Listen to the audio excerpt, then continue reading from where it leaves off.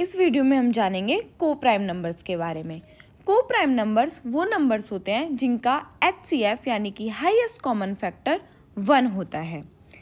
कोई भी ऐसे दो नंबर जिनके बीच का कॉमन फैक्टर सिर्फ़ वन होता है, वो को प्राइम नंबर्स कहलाते हैं।